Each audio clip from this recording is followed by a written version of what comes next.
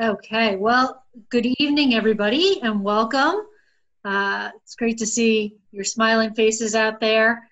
Um, and we're so happy to have you. Uh, so, just a note before we begin my name uh, is Sister Colleen Gibson. I'm a Sister St. Joseph of Philadelphia, and I'm going to act kind of as our facilitator tonight, moderate our conversation.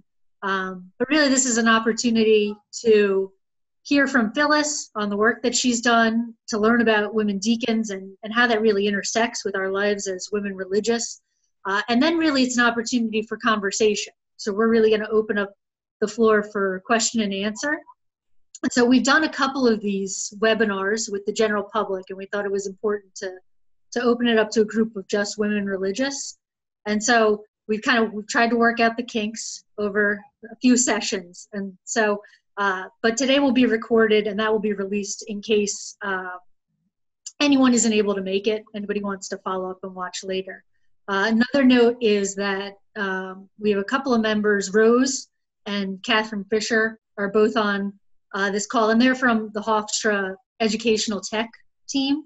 Uh, so they're just kind of supervising and making sure uh, that Zoom doesn't crash or anything like that. and then a final note so kind of the structure for our evening tonight is going to be two parts.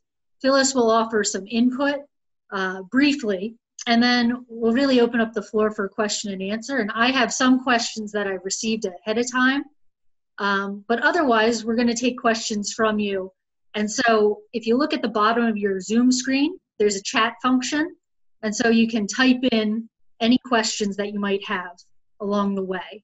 Uh, and then I'll I'll kind of act as the voice of the group because there's a lot of people on this call, and I'll pose those to Phyllis. So hopefully that all makes sense, and we're we're all on the same page. Uh, so just by way of introduction, um, you probably know a little bit about Phyllis, but I'll give you a little bit of a bio. So uh, Phyllis Zagano is the Senior Research Associate in Residence in the Department of Religion at Hofstra University. She's an award winning author and the editor of 20 books in religious studies. She's the author of Women Deacons, Past, Present, and Future from Paulist Press. Uh, and she writes for the National Catholic Reporter and a number of other places. Uh, she's an internationally acclaimed Catholic scholar and lecturer on contemporary spirituality and women's issues in the church. Uh, when we get to the end of our webinar tonight, she will tell you about all the wonderful places that you can hear her speaking and that you can tap into the work that she's doing.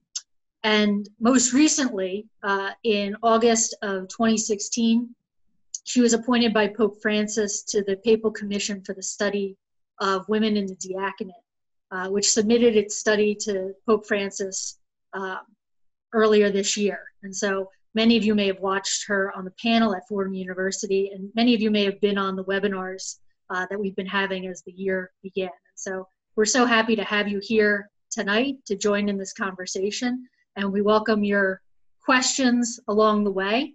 Uh, and I'm going to hand it over to Phyllis to give us just a little bit of input to begin. Well, thank you. Thanks, Colleen. Yes, as Colleen said, we've been doing this a little bit. We've had two general webinars. We had one practice and then two general webinars. Uh, and uh, the conversation is very good, but the conversation always there's one uh, woman religious, whether I give a talk or I give a, uh, uh, uh a webinar, there's one woman religious who, uh, only one who gets to ask a question. So we thought that it'd be a good idea to have uh, more sisters, more one just for sisters, and that, that's what we're doing right now. you probably want to hear about the commission. The the commission itself uh, met for the first time in uh, November of 2016. I was appointed in August of 2016, and uh, we met in um, November. And then we met a couple of times. I, I actually lived in the, in the Holy Father's house for four and a half months of the past two and a half years. And uh, that was because I had funding from the Hilton Fund for Sisters, so I could stay in Rome for a longer amount of time and I volunteered at the first meeting to be everybody's teaching assistant. So that's what I did. I went to the library and I I read everything I'd seen before. And and uh, anyway, we met.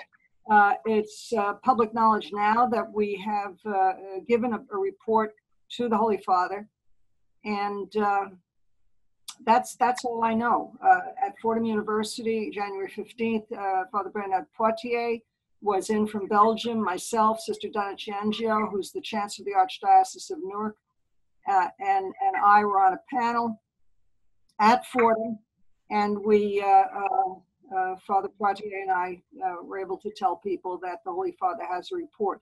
I have no idea what's going to happen next. I really don't. but as I said at Fordham, um, if I were the Holy Father, I would not want to walk into the um, International Union of Superiors General meeting in May without an answer.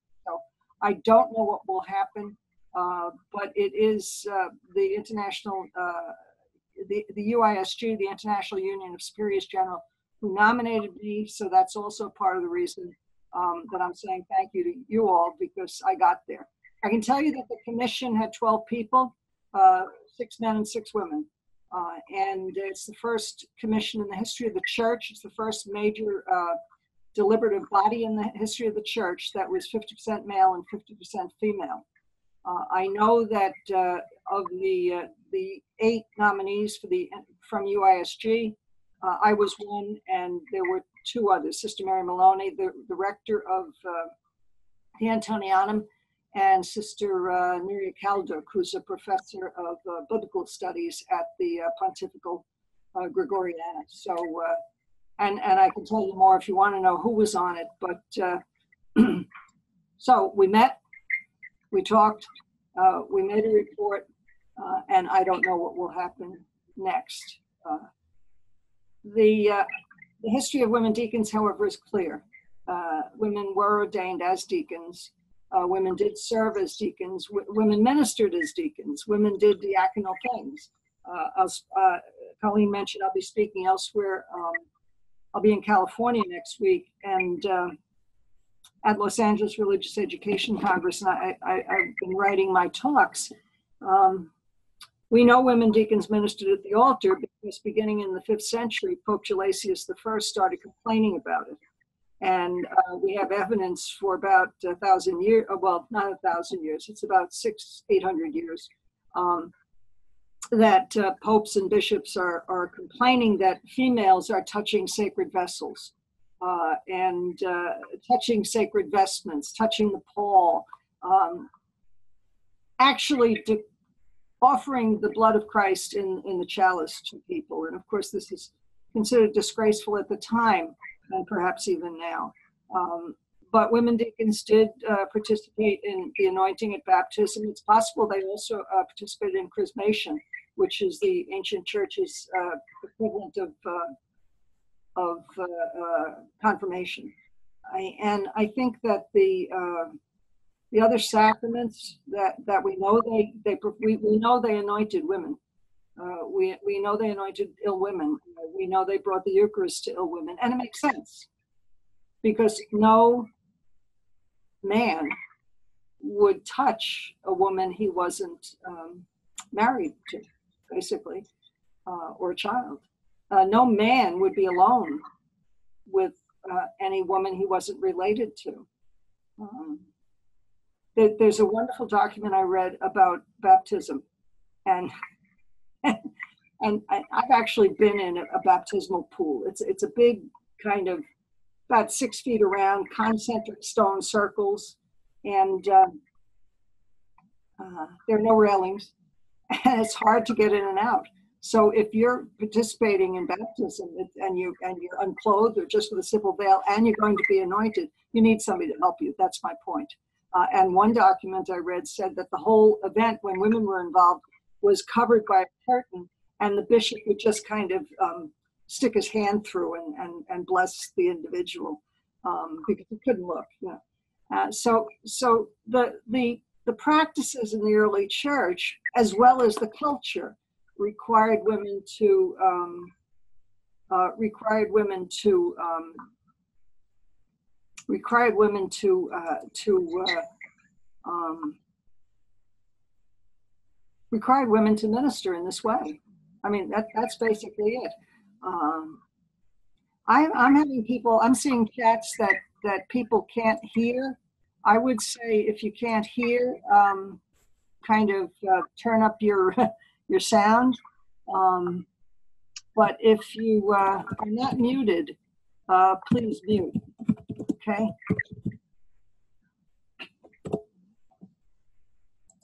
So, so that's kind of it. Uh, the ministry of, of the of deacons today are um, are similar uh, to what women deacons did in the past. The the deacons of today uh, can preach. Uh, they baptize. They witness marriages. They manage funeral exequies. They they they manage a lot of the diaconal task. Here we go. Why don't you? Uh, uh, we can start with some of your questions, and uh, we can see if some questions come in. Sure. Um, yeah, so if, if, you've been thinking of some questions or you have some questions in, in particular for Phyllis, feel free to type them in. Um, but maybe Phyllis, if you could talk in general about, you know, the ministry of ordained deacons, and I know you talked about early on women deacons were really helped because really helped because they could, you know, bodily touch women, and that was part of the role that they played. But looking at the history from, you know, the earliest stages of women deacons to the present, what is the role of a of a deacon?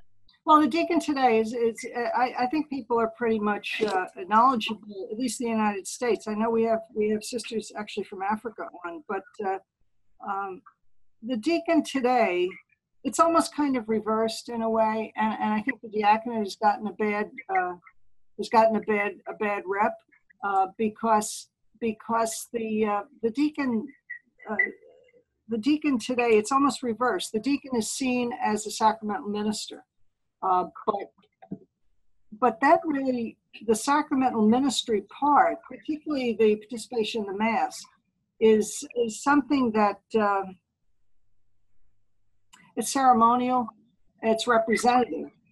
So the good news is, if we had women deacons, the the church would be putting its money where its mouth is, so to speak. It, it would be declaring that women are made in the image and likeness of Christ. You know, I have been told in Rome that women cannot image Christ.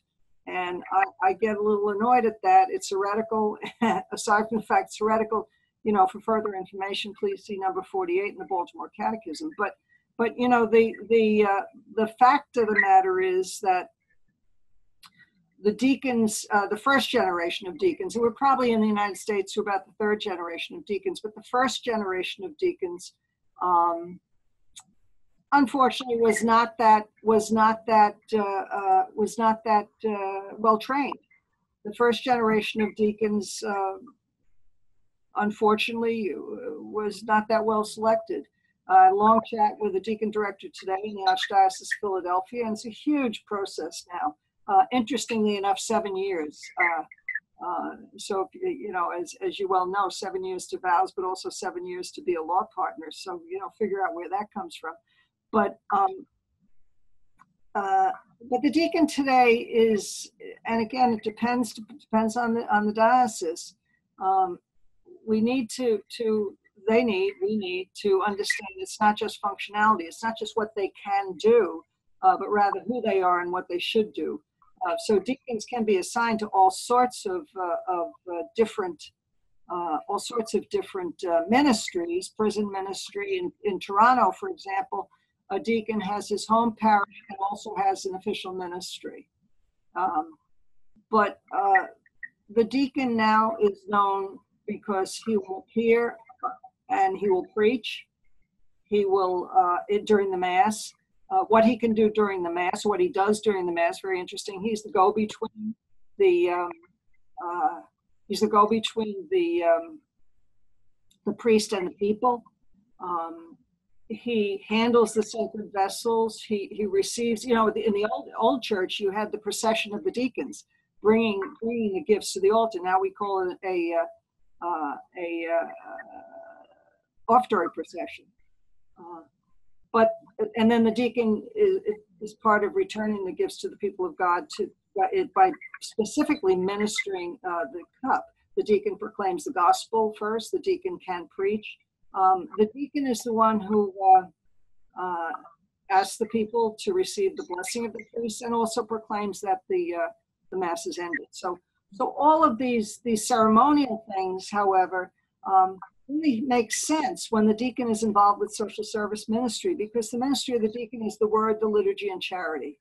and and to to disconnect them is to uh, create kind of a uh, uh, you know a, a, it's just not right you know and that that's part of the impetus for, for women deacons if if women if we have women deacons already women are doing social service ministries already the women are running the catechesis already the women are the spiritual directors already the women um, are, are the pastoral associates already the women are in prison ministry already the women are running the soup kitchens.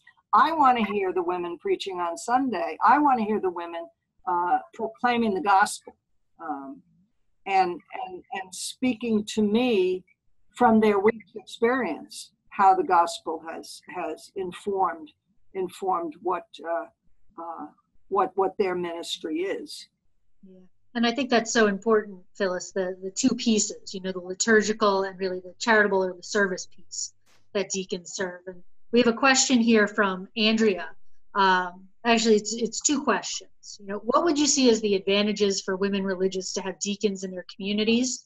And then the second part, um, she's from a monastic community. And so, what liturgical functions uh, could a, a, deacon take on in a, mon- in a monastic community? Well, I think I think Andrea, the the um, the the liturgical functions in, in a monastic community historically, um, the the abbess deacon was the heavy, and she would would run uh, would would uh, manage um, the liturgical schedule. Um, I don't think there'd be much difference except uh, for the question of preaching, and then depending on whether you're in a territorial abbey or not, you get into a big canonical discussion over whether um, the abbess has can uh, give preaching faculties to a sister within the territorial abbey.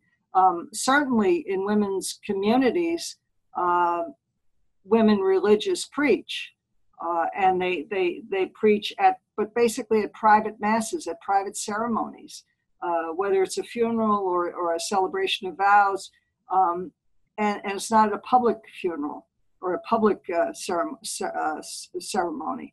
The the the law uh, of, of the church is that a bishop cannot give, he cannot give uh, faculties for preaching to anyone other than a cleric within the same uh, within the same um, liturgy. So uh, uh, the Benedictines, which Andrea is one, you know, have a have a, a long history actually of, of deacon abbesses, um, and I I just don't I I don't think, but I don't think it would be any different because uh, in history the, the deacon abbess was also able to um, nominate. You'll love this. Nominate one of her sisters to hear confessions. Um, some of the senior sisters to hear confessions. You see that the second rule for virgins, the, the first rule, it's not the rule for nuns. Caesarius of Arles in the uh, in the uh, sixth century created a wrote a, rule for, for virgins um, and and we think of it now or we call it the rule for nuns. The second rule for nuns included uh, that the abbess uh, would be required to hear confessions. Now now that goes far and away from uh, from diaconal work now uh, but it was the Gregorian reform really in the in the 12th century that got rid of deacons hearing confession. So so that there's a question for you. Uh, but but basically, Andrea, I don't um, you know I don't like questions of functionality.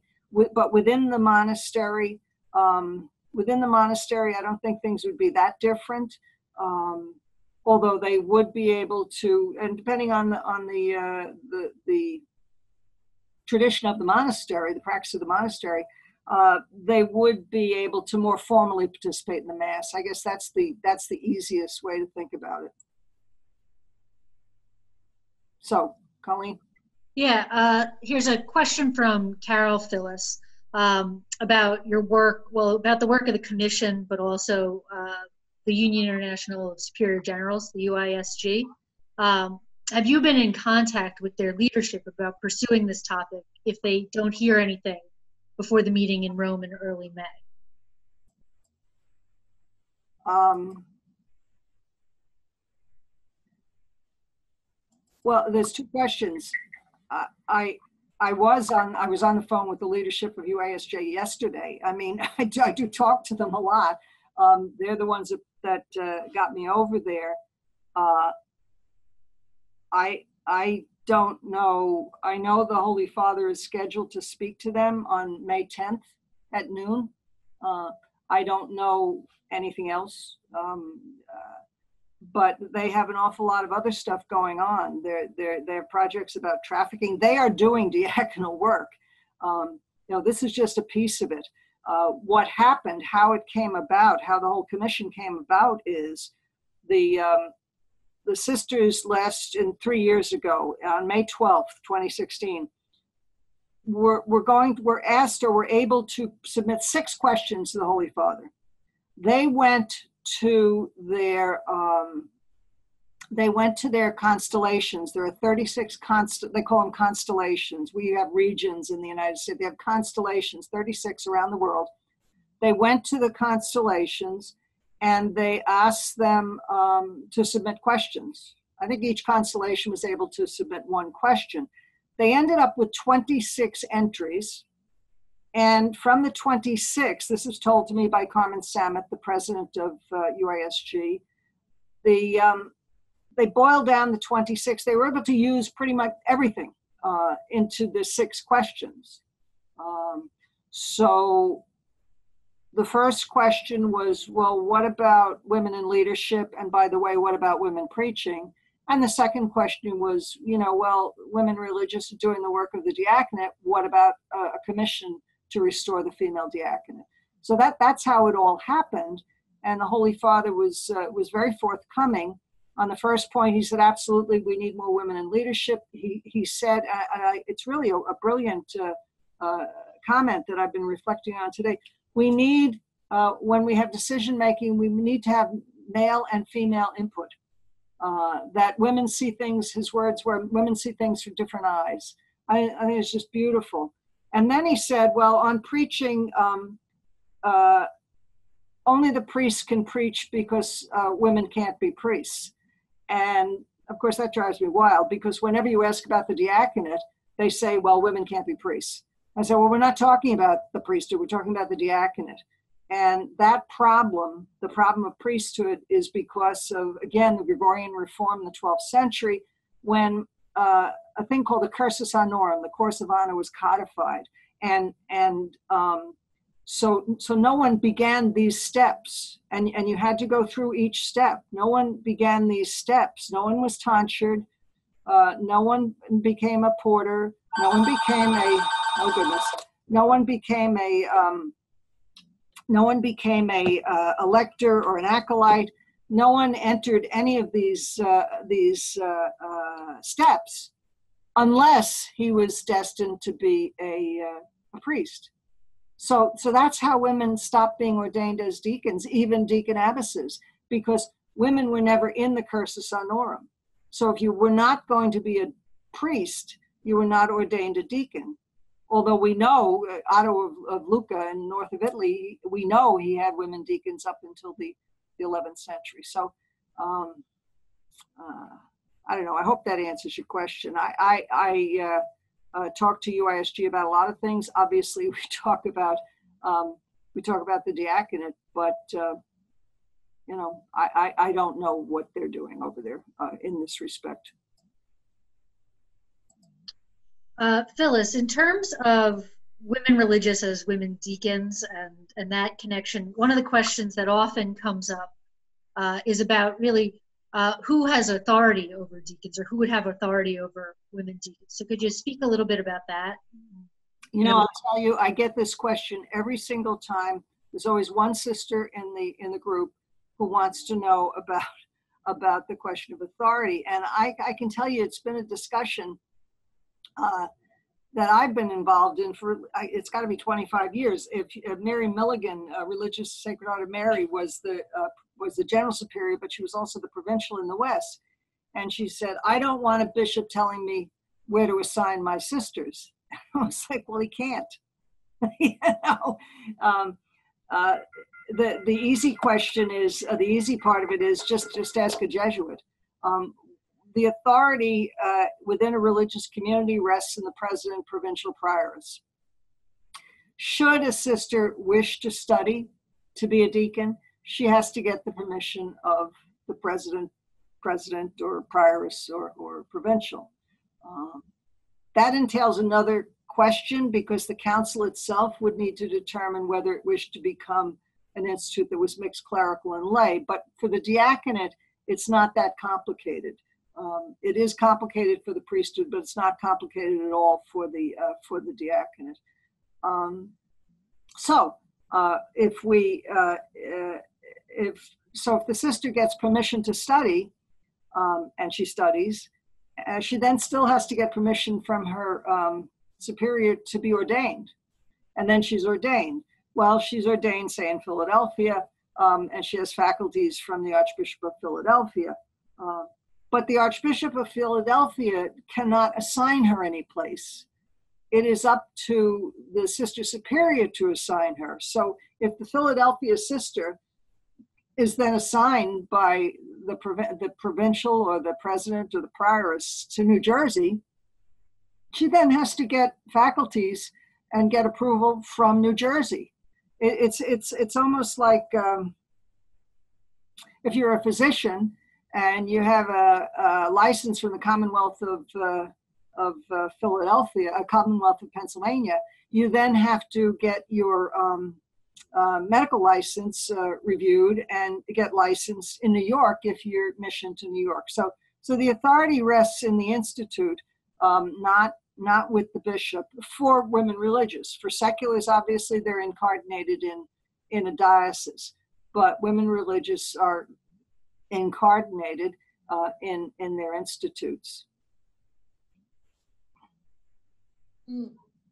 Phyllis, um, do you think one of the other things that's come up in terms of religious congregations and having women deacons and so deacons and then sisters who are not ordained to diaconate uh, is there a fear that that could create a hierarchy within the congregation? You know, um, I I don't think so. Um, I think that uh, I think that you have a situation where women religious have figured it out.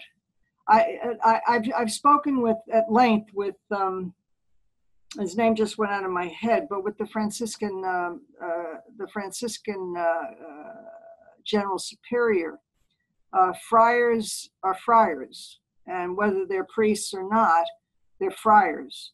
And um, the movement now is uh, is to have the Franciscans, at least, be able to have a a guardian who is not a priest. Uh, with the diaconate, it's different.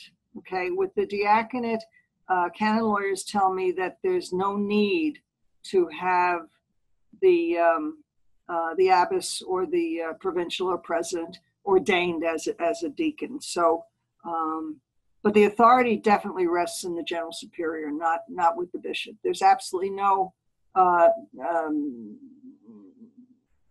uh, you know, canon law really draws walls around convents, and and uh, it's very clear uh, what the bishop can and cannot do in relation to uh, to religious uh, to religious institutes. So. Uh, I, I, I, I, I, I think that's a uh, that's a that's a moot point. It really is.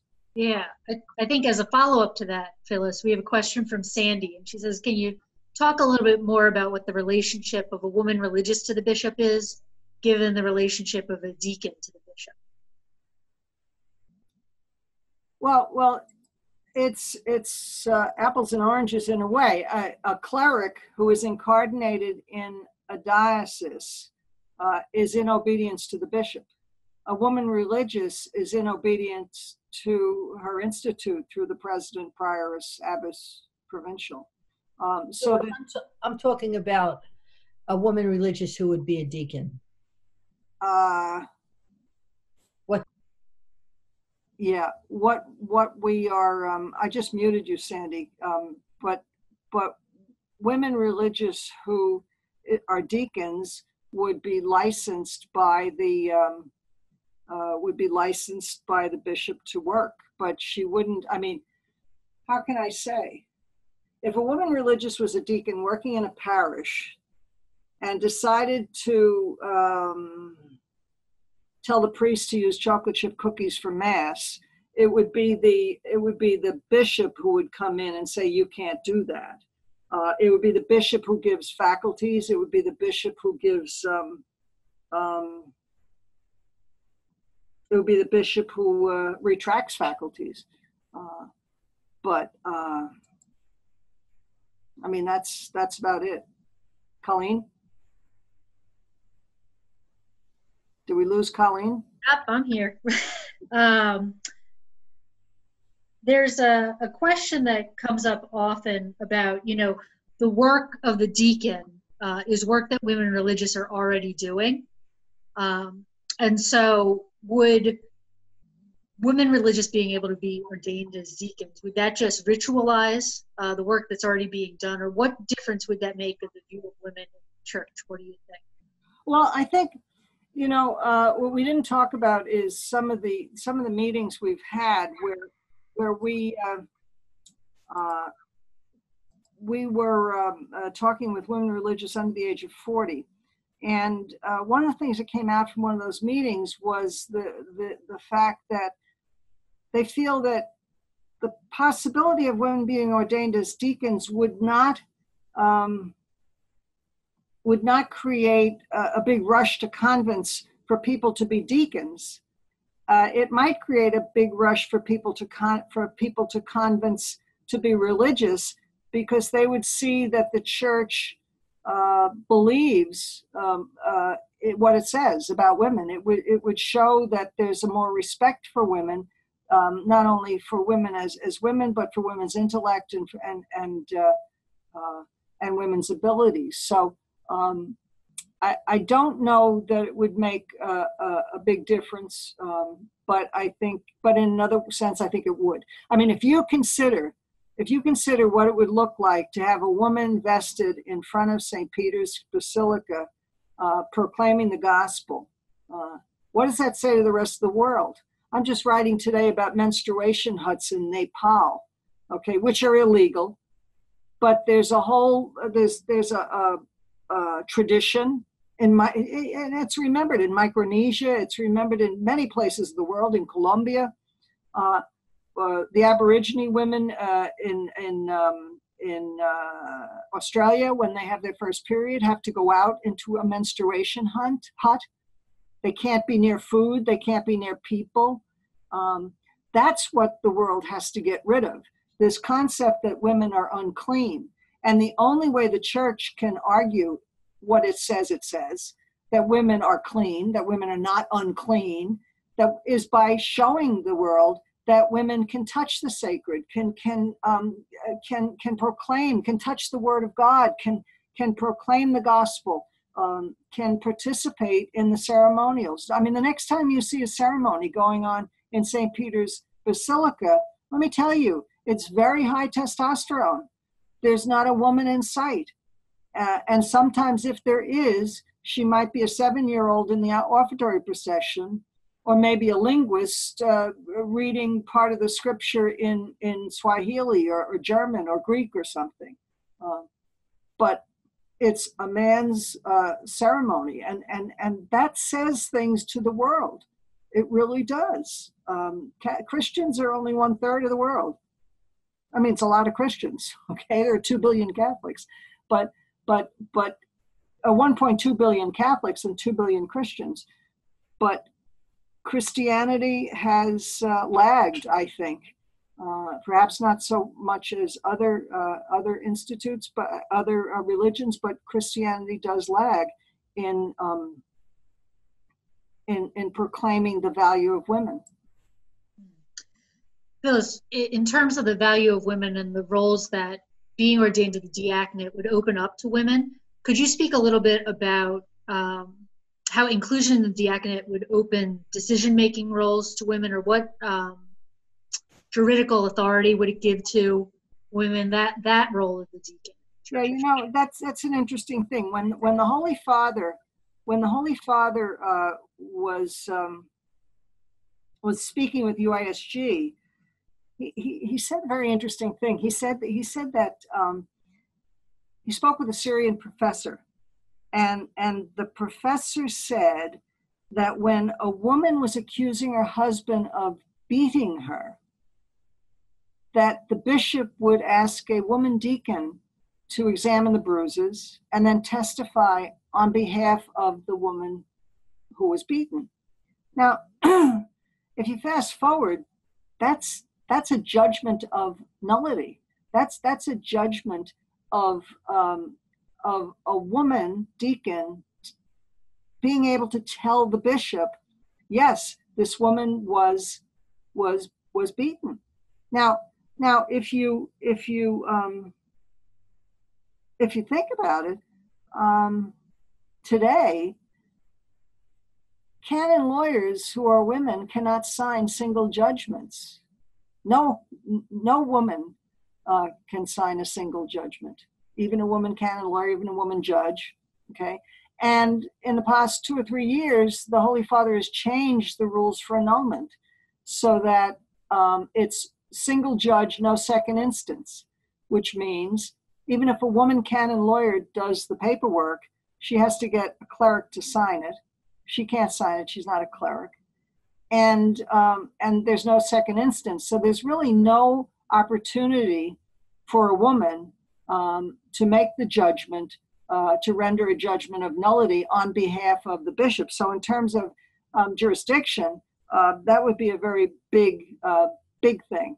Um, there are certain things that clerics can do, certain papers that clerics can sign. Um, uh, I know we have a lot of women chancellors, but there are certain uh, documents that they they need a co-signature on uh, because they're not clerics.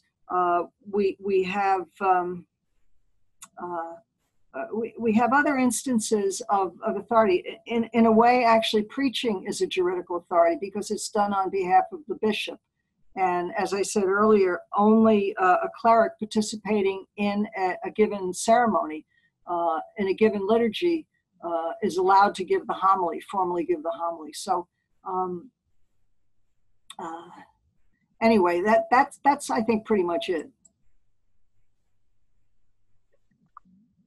Okay. I have a, a couple more questions, So, but I just remind anybody out there if you have questions, feel free to type them in and we will ask them. Um, now, when you look at the research, Phyllis, really, it, the research reveals that, you know, in the world, deacons, 98% of deacons exist in America, in the Americas and in Europe. Um, so, how widely accepted do you think um, the female female deacon would be, and and what how would that how would it work the institution of uh, the diaconate across the world? How would that happen? It's very interesting. As I said earlier, I spent about four and a half months in the in the House of the Holy Father, and I ate with cardinals and bishops from every place in the world. Um, some places, some of the African bishops were and cardinals were. Uh, one was very annoyed that I was trying to push uh, my American ideas on Africa. I said nobody's pushing anything on anybody.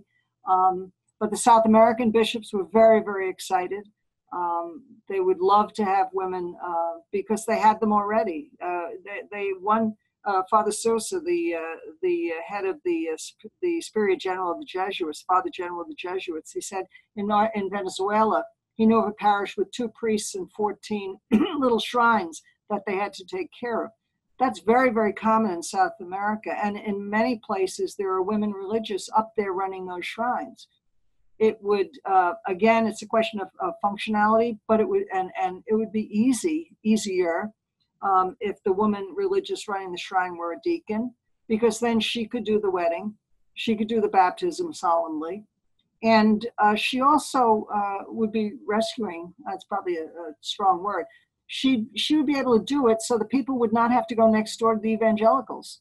Um, that's what's going on in uh, in South America. I, I forget the numbers, but they're very high and the uh, the numbers of, of ex-Catholics who are now uh, evangelicals are is astronomical, and they don't have they don't have deacons, they don't have priests. Uh, other places in the world, the bishops of Cambodia and Thailand, they said, well, you know, wouldn't bother us, but we don't have educated uh, women. We don't have enough educated women to make them deacons. Uh, in in France and in Europe, uh, no problem. England, no problem. Ireland, no problem. Um, about half of the Irish bishops uh, don't have women deacons, uh, don't have deacons at all. And for the most part, uh, one of them at least told me, he said he doesn't have uh, deacons because he can't have women deacons. He did not want to establish uh, another level between himself and and the people who are doing the work, who, who are the women. That's very interesting, really. Um, in terms of that, in, in terms of creating a, division, or that, that bishop in particular saying, you know, I don't want to create a division between men and women, so just not have the diaconate at all.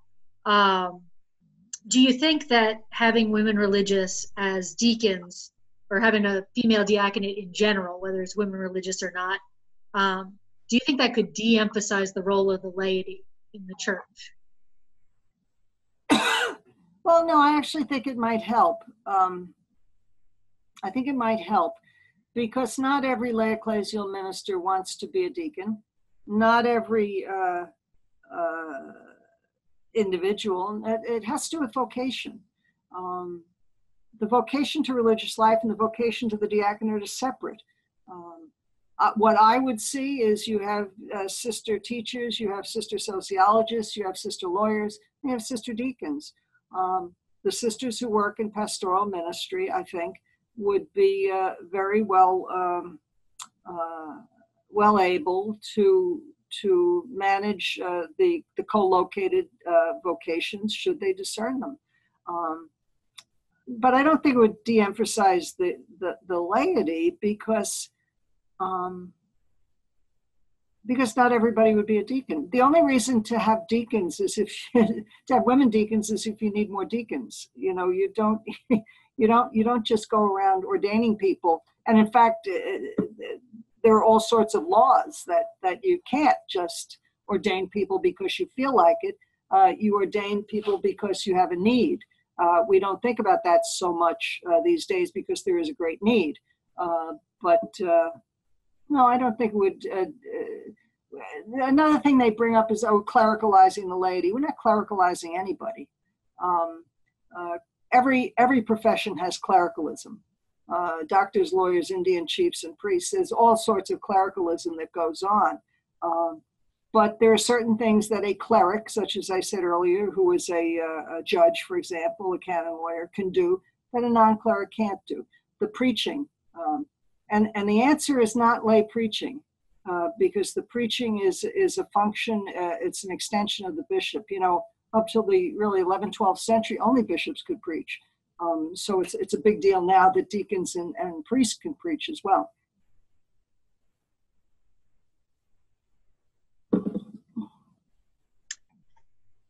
Can you? There was a as part of your work and part of um, CARA, the Center for Applied Research and Apostolate, did uh, a survey of major superiors of men and women's religious communities about the women diaconate. Um, and they asked, I thought this was fascinating, you know, they asked LCWR congregations and CMSWR congregations, you know, when you think about your membership, how many members in your institute would be uh, would be interested in becoming women deacons if that was an option. Uh, and I was fascinated as I read through the research that um, in CMSWR congregations, it was uh, the average was under one member in the congregation, but within LCWR congregations, uh, it was 3.2 members. And so uh, I think oftentimes when we talk about the diaconate and female diaconate, we don't think about eligibility requirements. And so uh, could you speak a little bit about that? Because I, it, it surprised me when I read it, um, but it just, it hadn't occurred to me. So you could speak a little bit about eligibility, Phyllis. Well, yeah, in the early church, um, the first rule was you had to be over 60, and then it got dropped to 40. Um, right now, a celibate can be ordained at 25, um, and a married person at 35. And the maximum age is typically about 65. They don't they don't generally let people into um, formation over the age of 60. And the reason the numbers are so low in the LCWR uh, crowd is because of the uh, demographics. Uh, the group is just too old. And I, I also had meetings with, uh, with general superiors from three LCWR regions, and that was personal meetings. We had dinner or lunch. And um, that was the, orig- the, the original comment that they made was our sisters are, are generally too old. But every single one of them, to a woman, had someone who either had performed diaconal functions in her institute. I'm thinking of people who were working in northern Canada or in mission work. Uh, or they had uh, people who were in their 50s and 60s who'd be willing to do, or younger, who were, would be able to be um, uh, deacons and wanted to be deacons because they were in uh, in that in that ministry. The um, uh, the bishop can do what he wants, you know. And so, if sister is 70 and he wants to ordain her, he can. Uh, uh, it's there's always the the waiver. There's there's always the you know the the the the waiver from the rules. So. Yeah, I was I was a little surprised at that number, but it was it was parsed, I think, uh, against the if I remember the study correctly, it was parsed against the um, uh, the demographics of the responding institutes. In terms of the CMSM, uh, CMC, what is it, CMSC? I forget what. CMSWR. Right. Uh, that, that, those sisters are um, pretty traditional. And um, I, I had a Zoom meeting with one of their institutes, and I, I found it very interesting. They felt that their habits would suffice for uh, ordination. Uh, and that, that's a whole that's a whole nother discussion that wearing a traditional habit made it unnecessary for them to be ordained um, and uh, because they but they were also of the mindset that father would do the burial father would do the uh, the uh, preaching father would do the baptism, father would do the uh, the marriage. Uh, but very interesting um, uh, that they saw themselves to have have a status. You see, I see religious life as as ultimately simply a, a, way of living the Christian lifestyle, but it is a lay life. It is it is a, a, a life for lay women. Um, and I don't think it's fair for the church to uh, uh, to substitute vows for orders.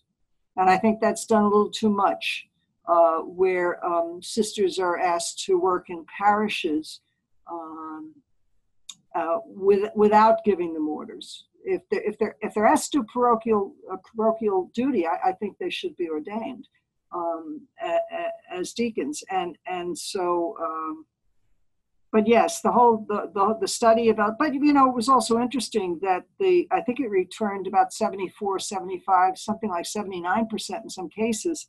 I know with LCWR sisters, 95 percent felt uh, that women could be ordained, should be ordained. And there was another study uh, of bishops uh, that CARA did, and uh, it turned out that almost 100 percent of the deacon directors and a smaller percentage of uh, bishops felt that w- when all was said and done, yeah, they could use women as deacons. A lot of them didn't think it could happen, should happen, but but if it did happen, they could use them. So, you know, pays your money, it takes your choice. Yeah, and I think so often, you know, uh, deacons who are married, their wives are going through those training classes with them and, and receiving the same, you know, formation. Yes, um, they're not receiving the same formation, but they are taking the academic training. You know, formation for orders is uh, when I taught at Yale SHIPS, um, spiritual, human, intellectual, and and pastoral, and and the uh, uh, the academic training is what the sisters have to go through, um, not the uh, not the uh, the human formation so much. Uh, And, uh, but again, it's vocation. You know, um, it's his vocation. Um, there has to be consultation. He can't get ordained, just as a sister can't be ordained without the uh, permission of the general superior. A man can't be ordained without his wife's permission. And in in some cases, younger children have to be involved. And and what do they, you know, what do they think uh, about the whole idea? So uh, it's it's a very um, it's a very um, it's very interesting uh, uh, studies, both of them. Um, I, I, just wrote a, a, a co-wrote a, a, a, refereed paper about some studies about women in the diaconate, and my point in the in the paper, our point uh, in the paper, is uh, is that the the church is is coming to a new era of synodality. Uh, that that consultation is important and uh, just as I said earlier, the Holy Father has said consultation is important. Just as I said earlier, this is the first commission in history that was 50% male and 50% female. I just found that out. I, I keep trying to get that through my head. Um, just as those things are true, um, synodality means we look to all ways of asking how the church is thinking. And so the CARA studies, two CARA studies, one of um, women in the church reported in America Magazine, uh, another CARA study of men and women general women uh, general superiors in the United States, uh, and another study of uh, actually an online study, a non-scientific study from um, U.S. Catholic. All three um, coinc- coincidentally came between 73 and 78 percent positive uh, on the possibility of women in the diaconate uh, with all sorts of reasons supporting it. So uh, um, I, I, th- I, think the voice of the church will be, the church at large will be heard um, at some point. I don't know how soon. I, when you were speaking, Phyllis, you talked about um, really diaconal formation programs, and I just wonder um, in, in religious congregations, in women's religious congregations, who would be in charge of overseeing or designing those formation programs? Would be the responsibility of the congregation, or would it be the responsibility of, uh, I don't know, the diocese, or uh, who would be in charge of that? Yeah, well, generally speaking, it, it's it's a diocesan formation, just as you would, you know. Uh, there's a Dominican seminary in St. Louis, you know, so some people go and study there, but there's also a diocesan seminary in Philadelphia. Um, deacon formation programs are typically um, in diocesan seminaries. The curriculum itself is really what you're asking about, not so much where the formation would take place. Um, spiritual, human, intellectual, and, and pastoral formation. Pastoral formation as a deacon would have to be in some kind of a diaconal training uh, program. The human formation is done, I think, in the Institute. Uh, the intellectual formation is where you go to school, um, and spiritual formation is done in the institute. So um, I, I, would look to men's religious institutes on, uh, and orders. Where where do they send their people? Some of them have their own seminaries. Some of them don't. Some go to diocesan seminaries. I think at the beginning, at least, women religious would be attending diocesan seminaries or places like the Catholic Theological Union. Um, in uh, in Chicago, um, for want of a better uh, reason, because the the programs are uh, the programs are uh, established.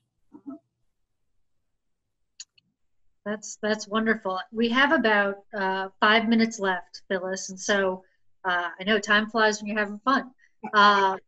so I I don't know if you want one more question or if you want to do some plugs about the things that you have coming up what question do you have? I mean, uh, is the C, is the seeming non-movement on this issue on women's diaconate is it more of a sign of lack of clarity uh, of women's roles in the church, or is it a sign of lack of clarity about the church's direction in general?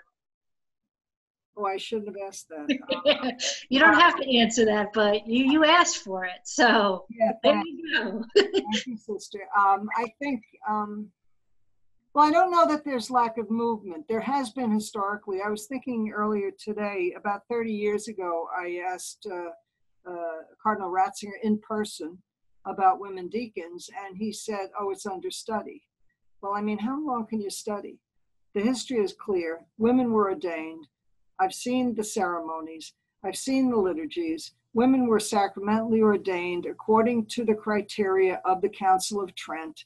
Um, it's it's a non-starter, really. The argument, the only argument they have against uh, ordaining women as deacons is uh, women can't image Christ, which, as I said earlier, is heretical.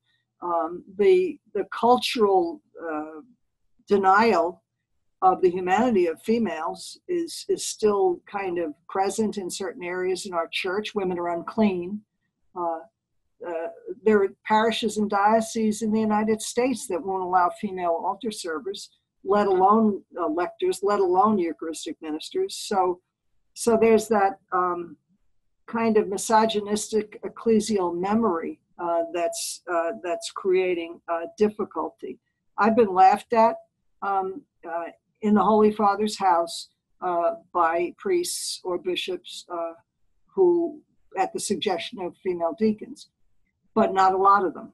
Okay, and uh, uh, and I've been well received by the by the Holy Father's staff and and by uh, by others. So uh, I, I think the Holy Father will do what's best for the Church uh, at the right time. This may not be the right time, but it may be the right time. So um, so that's that's my two cents, and I'm sticking to it. Wonderful. Well, thank you, Phyllis, and uh, thank you everyone for for being with us tonight and for wonderful questions and insight. Uh, and we have a couple of things we want to let you know about. Um, so, Phyllis, if you want to talk about where you're going to be, and I'll share my screen so that uh, we can kind of see everything you're talking about. Oh, good. Um, well, the link the link to the Fordham panel is up. Um, the uh, uh Bernard Pottier and I uh, were uh, were at Fordham. And uh, if you can find that link or just Google it, uh, we'll be happy. Um, the book Women Deacons Past, Present, Future is available in English and in French. Um, so so that uh, uh, that is available. Uh, the study guide's out in English. It will soon be available in French, and it's for free download on my website. Uh, I'll be at the St. Raphaela Center outside of Philadelphia. It's about 10 minutes from uh, Villanova University on April 22nd with another event uh, for women religious. And, and all of you participating and, and those who didn't make it uh, will get uh, an invitation to that.